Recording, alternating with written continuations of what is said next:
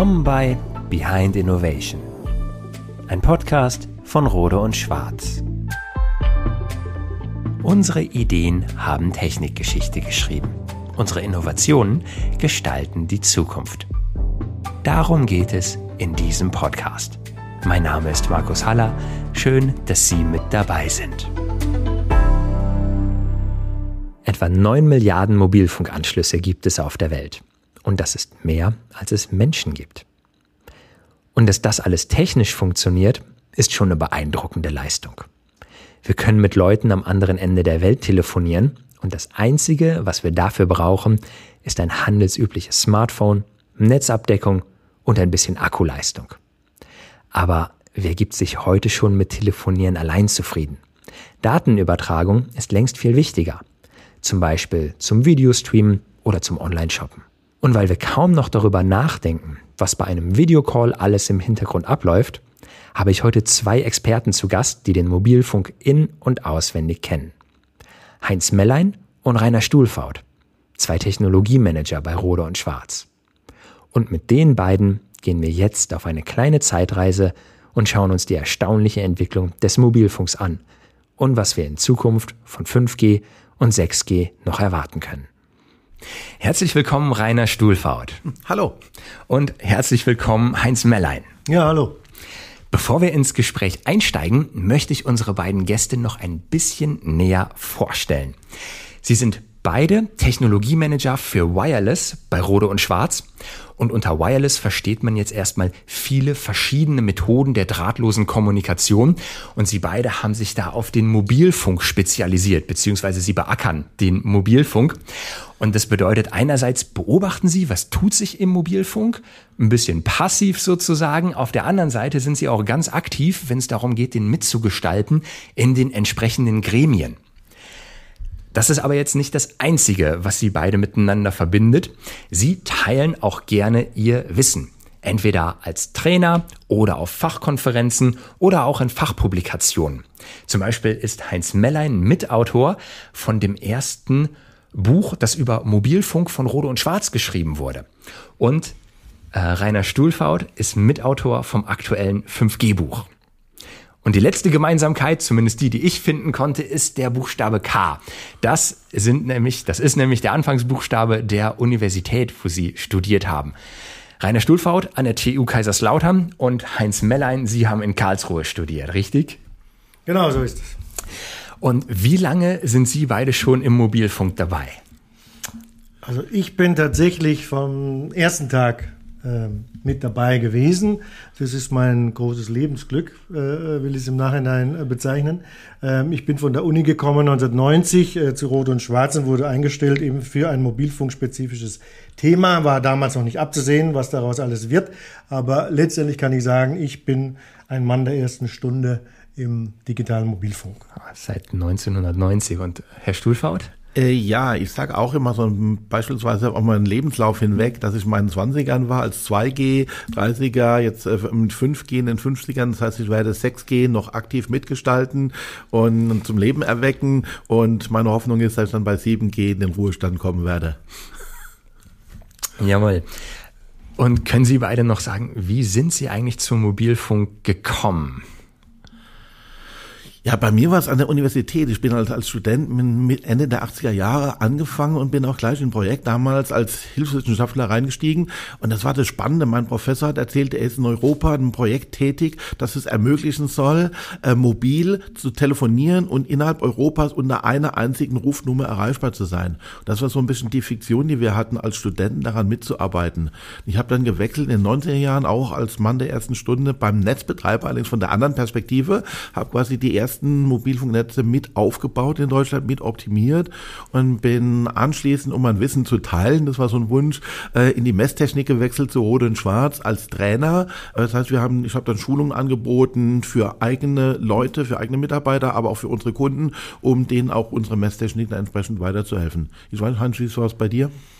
Ja, im Prinzip war das ähnlich äh, nahtlos von, vom Studium. Mein Studienschwerpunkt in Karlsruhe war tatsächlich die digitale Nachrichtentechnik, also Dinge, die damals noch relativ modern waren, wie digitale Modulationsverfahren, die dann ja letztendlich in diesem äh, neuen Mobilfunkstandard eingesetzt wurden. Und das war sicherlich auch der Grund, warum Rot und Schwarz mich damals äh, eingestellt hat, um eben mit diesen Kenntnissen äh, oder damit ich meine Kenntnisse hier in diese, diese Mobilfunkthematik mit einbringen kann. Und wenn man sie beide so reden hört, da kommt schon die Freude auch am Mobilfunk rüber. Können Sie noch sagen, was begeistert Sie beide am Mobilfunk?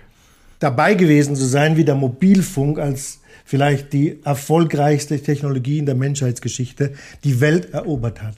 Ja, äh, während man damals ähm, zu Beginn der Zeit einfach nur davon geträumt hat, dass man, dass man überall äh, telefonieren kann, äh, mit einem mobilen Endgerät telefonieren kann, ist es ja heute so, dass man zwischenzeitlich praktisch alles machen kann, mobil äh, von, von, von was weiß ich, Bankgeschäften bis zu äh, äh Pizzaservice anrufen und solche Geschichten oder äh, Pizza bestellen, ist ja heute alles kein Problem mehr.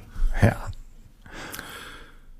ähm, ja, ich, ich könnte jetzt salopp sagen mit dem Herrn Aristoteles, der, das, dass mir seit 30 Jahren so geht, dass ich weiß, dass ich eigentlich nichts weiß. Und das ist spannende Mobilfunk, diese ständige technische Evolution. Ja, Das heißt, bei Rot und Schwarz als Trainer habe ich gelernt, ja, das war mein, mein Schreckenssinn am Anfang, als ich angefangen habe, mein Chef damals gefragt, ja, wird es nicht irgendwann mal langweilig, wenn ich immer wieder das Gleiche erzählen muss? Und genau das habe ich gelernt, ist nicht der Fall. Und jetzt gerade aktuell, äh, ich hoffe, dass ich es nicht mehr erleben werde, diese Corona-Zeit, ja, aber es erfüllt mich auch in gewissermaßen mit Stolz, dass ich hier in einem Ökosystem mitarbeite, die es eben ermöglicht hat, die Menschheit dies, diese Phase zu überbrücken, ja. Die ganzen Videokonferenzen, die Kommunikation, ja. Stellt euch mal bitte vor, wie hätten wir Corona äh, erlebt ohne die Möglichkeiten der Kommunikation?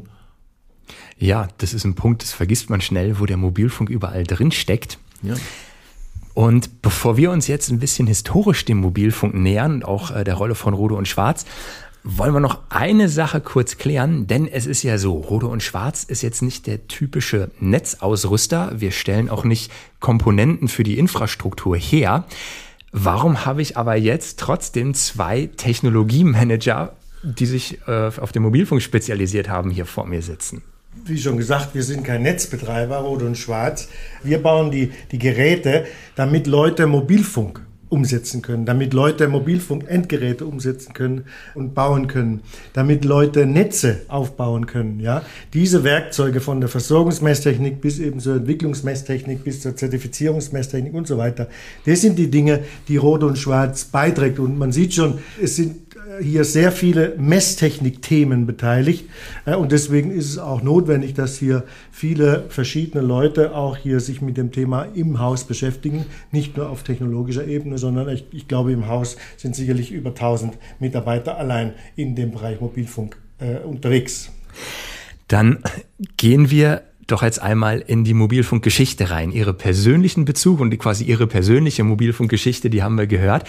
Die Mobilfunkgeschichte von Rode und Schwarz fängt ja so ungefähr Mitte, Ende der 80er Jahre an, also der 1980er Jahre.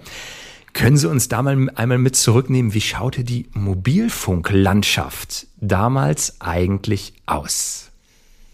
Ja, das, das Problem war, dass es damals keine äh, harmonisierte Mobilfunklandschaft äh, international gab, sondern es gab in verschiedenen Industrienationen wie Deutschland oder USA oder anderen europäischen äh, Ländern zum Beispiel, äh, äh, gab es proprietäre landesspezifische Mobilfunksysteme. In Deutschland hieß es damals zum Beispiel Netz C, das war also das letzte äh, Mobilfunksystem, bevor dann eben dieser digitale Mobilfunk eingeführt wurde.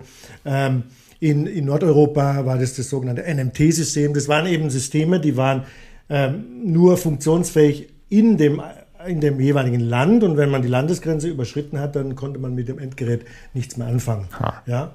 Und dann war eben der politische Wille da in der Europäischen Union, dass man gesagt hat, äh, wir würden das gerne harmonisieren. Wir hätten gerne einen europaweiten, einen paneuropäischen Mobilfunkstandard und hat dazu letztendlich auch eine Standardisierungsorganisation, die ETSI, die Europäische Telekommunikations- äh, Standardisierungsinstitution ins Leben gerufen, die dann, ich glaube, das war 1988, die dann letztendlich auch verantwortlich war für die ersten Schritte Richtung eines paneuropäischen Mobilfunkstandards.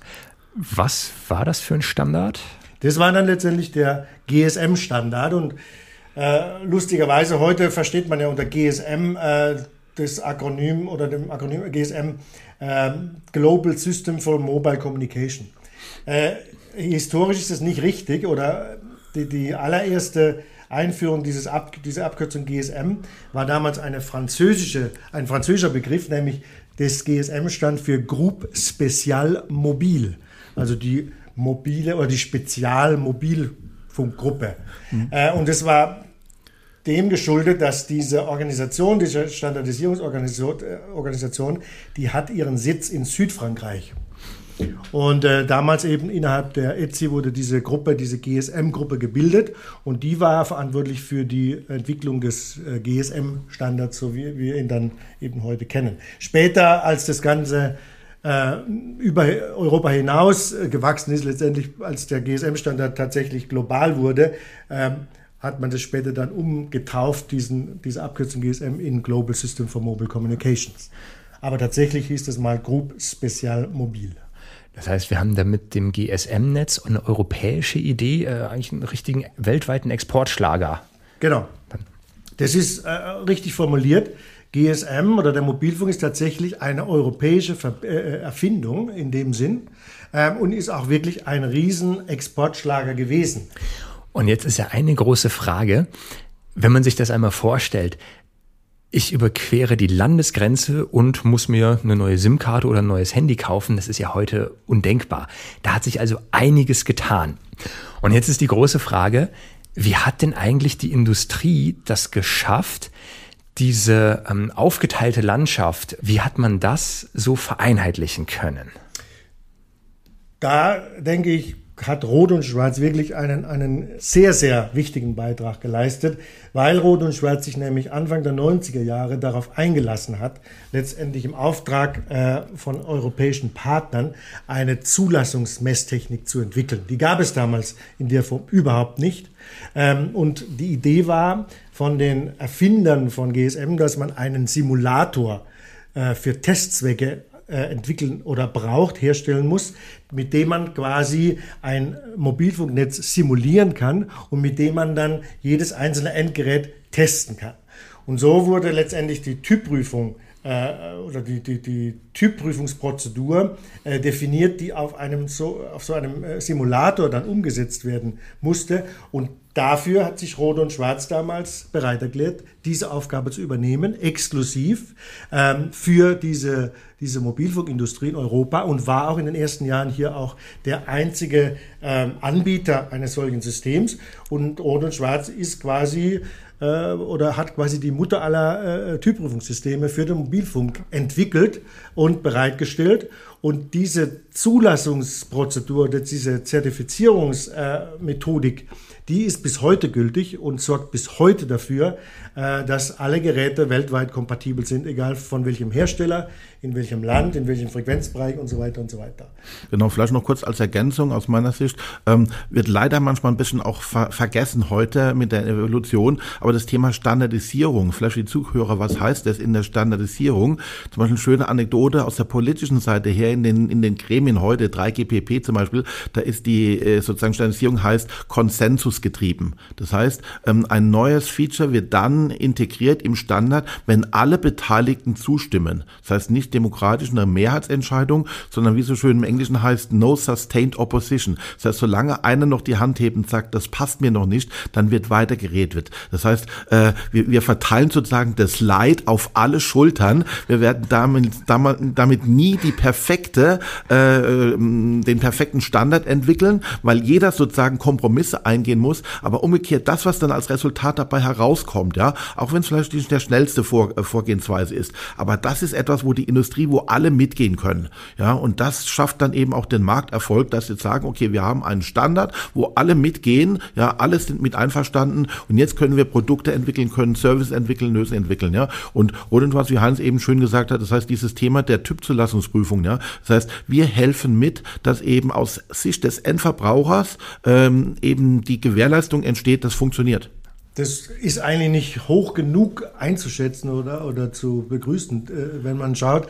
Ich war im Jahr 1998 beim ersten äh, technischen Meeting für den, für den dritten Mobilfunkstandard in, in Finnland. Ja, da waren wir 40 Leute. Zwischenzeitlich treffen sich bei diesen Standardisierungsgremien mhm. in der Spitze bis zu 1200 ah. Leute im gleichen Hotel. Das ist mal eine Entwicklung. Ja. ja. Und äh, die, wie der Rainer schon sagte, und die finden tatsächlich einen Konsensus.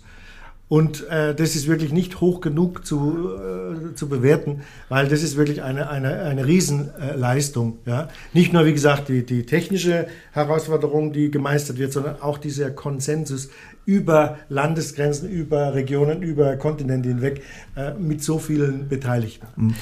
Und jetzt haben sie mich aber mal neugierig gemacht, denn ich bin immer eher so davon ausgegangen, wenn es um Typ-Zulassungsprüfungen geht, das ist eine sehr technische Geschichte, aber sie haben jetzt schön ausgeführt, ja, die Technik ist das eine und wollen wir uns gerne auch gleich noch ein bisschen angucken und da reingehen, aber eine andere Facette ist, dass man alle Interessen von den verschiedenen Playern, die da unterwegs sind, irgendwie in einem Standardisierungsgremium unter einen Hut bekommt. Also das ist nicht nur reine Technik, das hat auch viel mit Interessensmanagement äh, zu tun.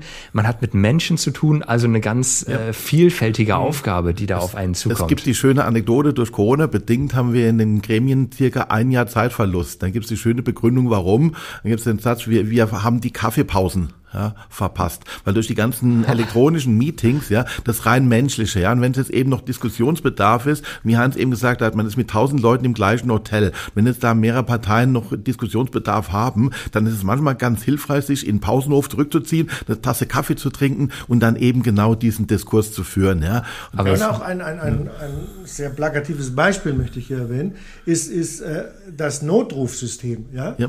Auf der ganzen Welt können wir heute mit einem äh, Handy mit 112 den Notruf anrufen. Ja?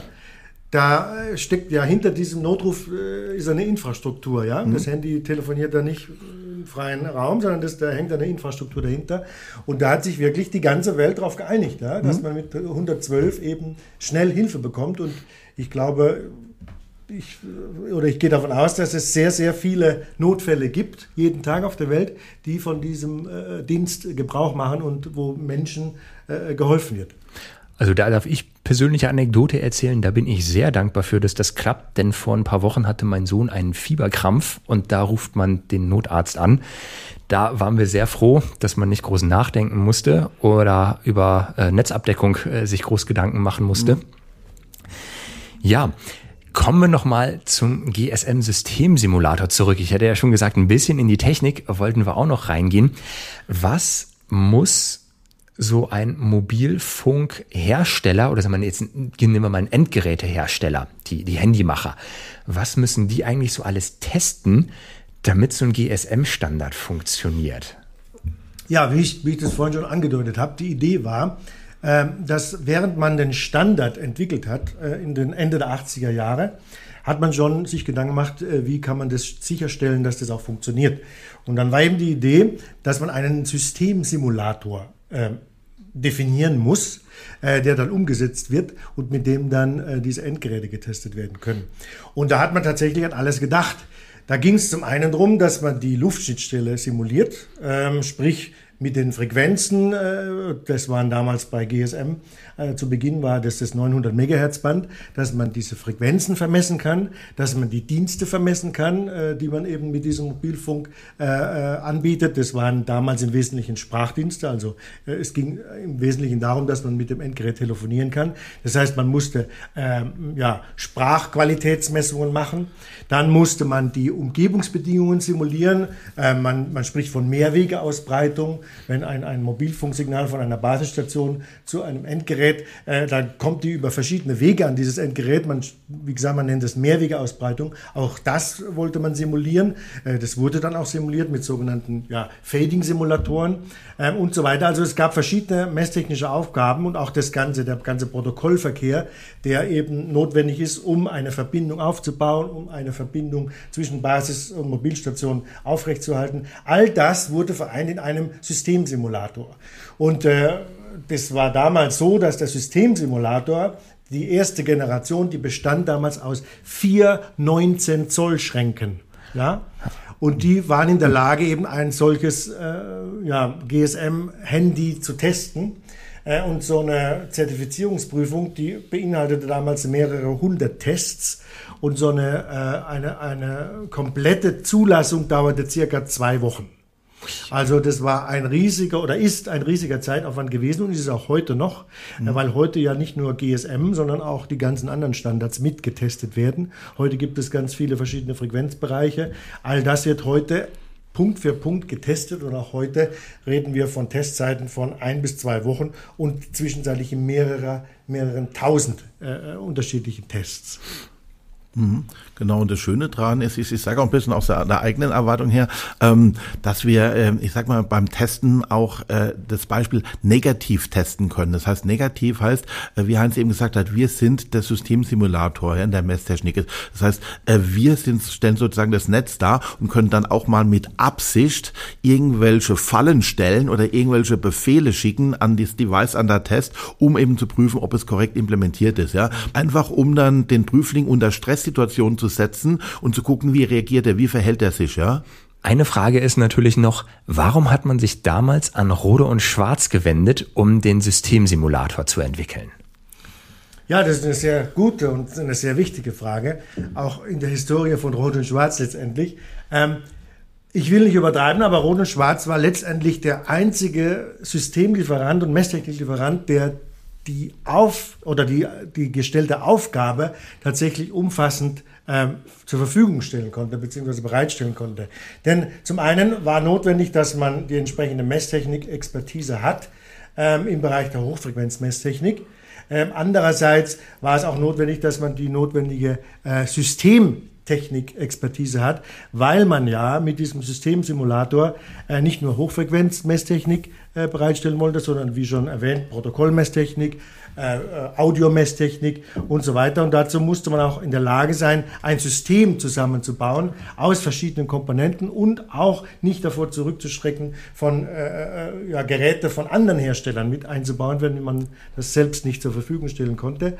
Damals war es so, dass es zum Beispiel für äh, Mehrwegeausbreitungssimulation oder Audiomesstechnik, da hat Rot und Schwarz noch keine eigene Lösung gehabt und hat dann auch kein Problem damit gehabt, eben äh, äh, von anderen Herstellern da was mit reinzunehmen in die Systemlösung. Zwischenzeitlich sind eigentlich alle Komponenten in unserem Typprüfungssystem äh, Rot- und Schwarz-Instrumente und äh, heutzutage decken wir quasi 100 Prozent der Messtechnik aus eigenen Produkten ab. Und den Höhepunkt oder den krönenden ersten Abschluss äh, habe ich mir angelesen war dann der 1. April 1994. Da wurden die ersten Handys erfolgreich auf dem GSM-Systemsimulator getestet. Da muss ich sogar noch ein Stück, äh, das war sogar noch ein bisschen früher. Äh, tatsächlich ähm, wurde 1992 äh, in Deutschland das äh, D-Netz, so hieß es damals, mhm. das GSM-Netz, äh, praktisch eingeschaltet. Ähm, und das erste zugelassene, also typgeprüfte Endgerät kam von der Firma Nokia, war ein Autotelefon. Das konnte man damals für schlappe 3500 Mark kaufen, also heute, was weiß ich, 1700 Euro in der Größenordnung. Für Studenten ähm, nicht mehr zu stemmen. Genau, und das war äh, ja, so zweieinhalb Kilogramm schwer, war halt nicht wirklich mobil, sondern man hat es halt irgendwo im Auto eingebaut. Ähm, das war tatsächlich 1992, 1994, ähm, das war dann das erste E-Netz, sprich GSM in einem anderen Frequenzband, nämlich 1800 MHz. Ha. Wie stolz ist man, wenn so ein großes Projekt erfolgreich beendet wird? Ich sage Ihnen dazu Folgendes. Ähm, ich war das erste Mal ein bisschen stolz, als ähm, der GSM-Systemsimulator im Deutschen Museum aufgestellt wurde. Und damals war ich, äh, glaube ich, Anfang 40 und dann habe ich äh, zu meiner Frau gesagt, jetzt bin ich erst Anfang 40 und schon steht das im Deutschen Museum, an dem ich mitgearbeitet äh, habe. Äh, was soll da noch kommen? Aber letztendlich, äh, das war schon der erste Moment oder einer der Momente, wo ich gesagt habe, äh, ist schon toll, dass man da mit dabei war. Was soll da noch kommen, hat sich Heinz Mellein gefragt. Und im Laufe seines Berufslebens noch ein paar weitere Mobilfunkstandards erlebt. Genau wie Rainer Stuhlfaut. Und mit den beiden geht es in der nächsten Folge weiter, wenn wir über die weitere Entwicklung von 3G bis 5G und danach 6G sprechen werden. Wenn Sie den Teil mit dem Deutschen Museum spannend finden, In der übernächsten Folge haben wir Luise Allendorf zu Gast. Sie ist Kuratorin am Deutschen Museum und mit ihr sprechen wir über Technikpioniere und welche Rolle Rode und Schwarz dabei gespielt hat. Für heute verabschieden wir uns von Ihnen und freuen uns, wenn Sie für Teil 2 unseres Mobilfunkthemas wieder mit dabei sind. Und Lust auf Rode und Schwarz bekommen? Dann hören Sie unseren HR-Podcast People Behind Technology für alle Mitarbeitenden und die, die es werden wollen.